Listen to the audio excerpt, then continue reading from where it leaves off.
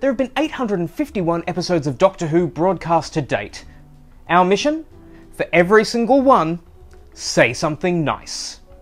Hello, dear viewers, and welcome back to another week of Say Something Nice. And we start this week debuting a new Doctor. It's the Eaters of Light.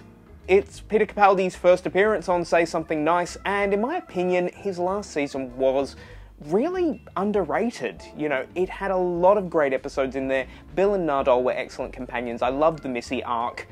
The Eaters of Light, uh, look, it's not one of my favourite episodes from this season, which is unfortunate because it's the first time a classic series writer, Rona Munro, has returned to the show for television. The scene I'm going to pick is Bill coming out to the soldiers.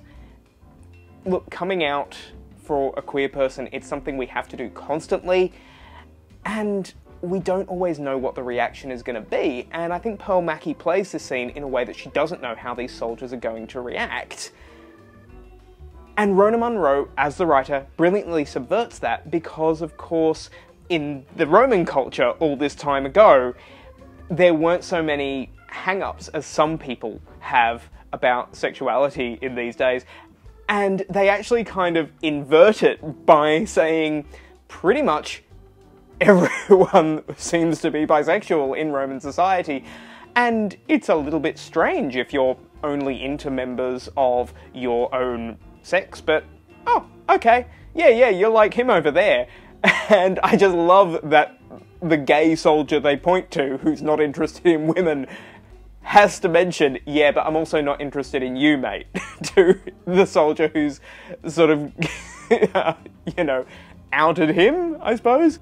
I like that it gives them something to talk about, it gives them a chance to get to know each other, it relieves the tension of that moment as well. And I just love Pearl Mackie as Bill.